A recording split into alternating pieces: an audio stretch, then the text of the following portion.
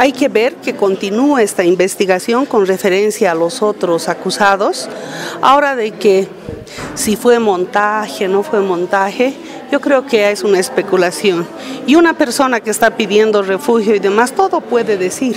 Y no, va, y no vamos a decir nosotros de que es dueño de la verdad. ¿Quién nos va a dar la verdad? La investigación.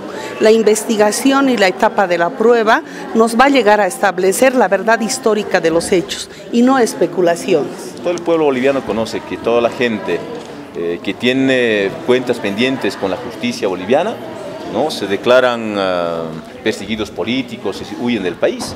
¿no? Más al contrario, nosotros convocamos a que venga ¿no? aquí, al, aquí al pueblo boliviano y que demuestre pues todo lo que está uh, hablando, desprestigiando a, nuestro, a nuestra querida patria.